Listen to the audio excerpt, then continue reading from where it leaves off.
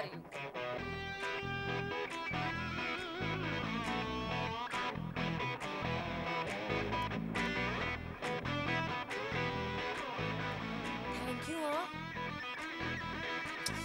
वो bus stand पे ना मेरी बुरी तरीके से फट गई थी। इसलिए थैंक यू की जगह वो सब बोल दिया। एक सीक्रेट बताऊँ? एक्चुअली ना, मेरी अभी भी थोड़ी पंचर हो रखी है। इसलिए इतनी ज़्यादा बकबक कर रही हूँ। वरना मैं इतनी ज़्यादा बकबक करती नहीं हूँ।